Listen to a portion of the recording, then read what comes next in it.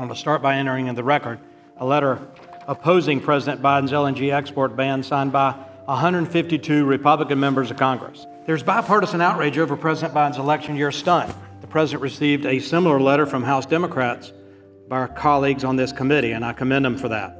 As our letter states, this decision is economically and strategically dangerous and unnecessary. Under both Democrat and Republican administration, the DOE has consistently found that U.S. LNG exports serve the public interest because they contribute positive economic benefits and strengthen energy security for the American people. They also have the potential to reduce greenhouse gas emissions. This latest move to ban exports is part of a broader campaign to undercut American energy production. Following the announcement, Sierra Club executive director stated the Biden administration is listening to the calls to break America's reliance on dirty fossil fuels. Another example of this is the campaign by radical environmentalists to block pipelines. This especially hurts states like South Carolina, where I re- represent. Our population growth is outpacing, outpacing our energy supply.